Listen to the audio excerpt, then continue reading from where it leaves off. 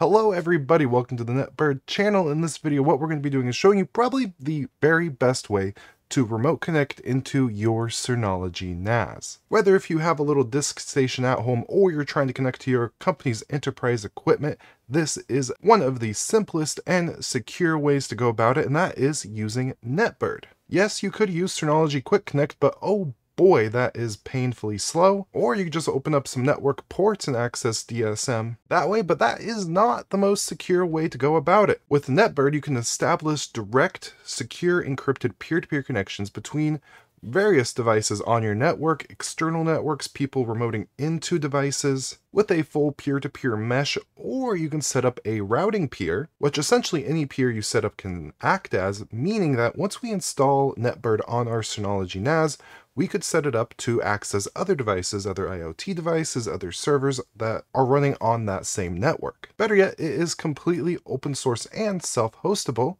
or if you don't want to go through that work, there is a free tier on the NetBird website and some other business tiers with more enterprise focused features starting at $5 a month. Now, the first step to setting up any peer is to go to the NetBird dashboard here. You can see I already have a few peers set up, but what we're going to do is generate a setup key for our Synology.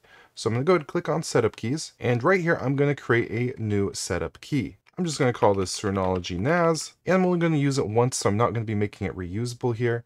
So I'll just go ahead and create the setup key, and there it is. Now I'm going to keep it right here because now we need to go over to the Synology machine and do a couple prerequisites just to make sure that we're all set up and ready to go. And here it is. So the first thing we're going to do is make sure that my user has administrative access. If it's the default user, you should be good to go. But if I go over here, go under users and groups, this right here is me. If I go ahead and click on edit, go to user groups, you could see right here under the administrators group, there's a check, so I'm good to go. Now, the second thing we're going to need to do is make sure we have access to a terminal because we're going to need to run just a single line command to go ahead and get NetBird installed. So to do that, we are going to go down to terminal and SNMP. Click on that. We're going to check the box that says enable SSH service and then click on apply. Gives us a little warning here. I do recommend you read this. So we're going to hit OK. Those changes have been applied. So now you're going to want to find the IP address of your server. Usually you can find it right here in the address bar. Alternatively, if we just go to network and then network interface here, we can see all of our ports and we can see this LAN one is connected. We're on 134.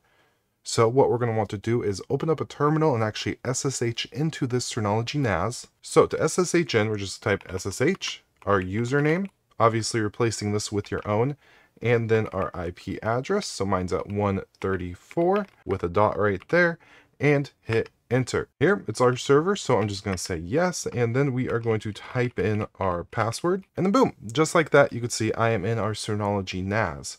So now it's at this point that we could head over to the installation documentation here, and we're going to grab this command. It says install with one command, give that a copy, and then we're just going to drop it into our terminal here. We're going to paste it, and you could see it ran.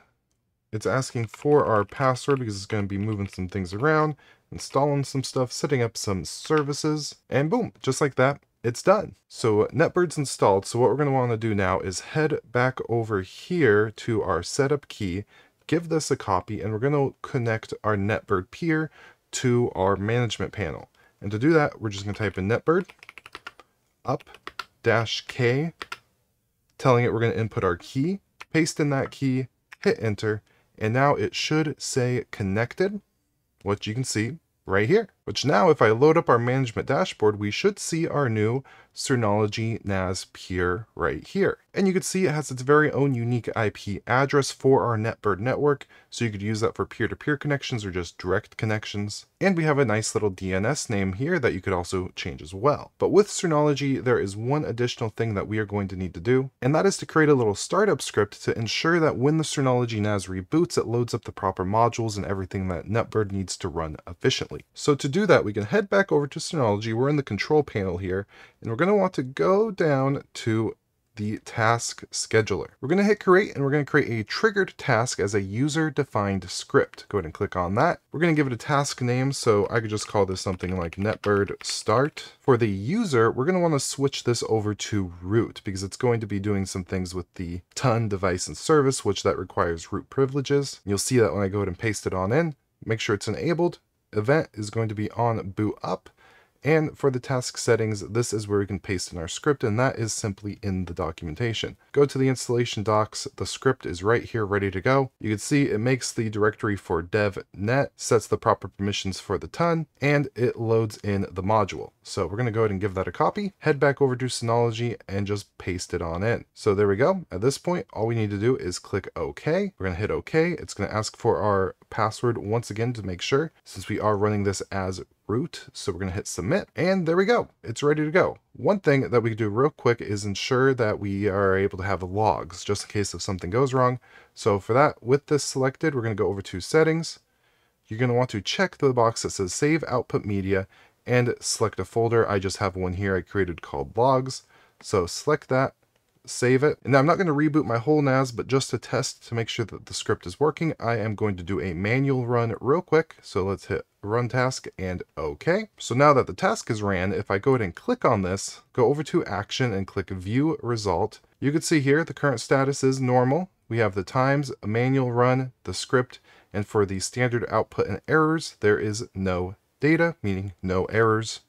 So we're good to go. So again, that was our quick guide on setting up NetBird on your Synology NAS. You can set this up on a wide variety of devices, including Linux, Windows, Mac OS. There is just a variety of ways to go about this, a variety of ways to use this, and if you'd like to learn more and check it out, check out the official website, netbird.io, and the documentation to dive into all the different use cases, how it works, and much more. Also, this is the first time you're seeing me on the channel, so I'll be making a lot more content, so do make sure you subscribe so you don't miss any of that. We're going to be going over home lab use cases, enterprise setups, general videos on like overlay networks and zero trust. It's going to be fun. I'm looking forward to it. And with all that, I do hope you have a beautiful day and goodbye.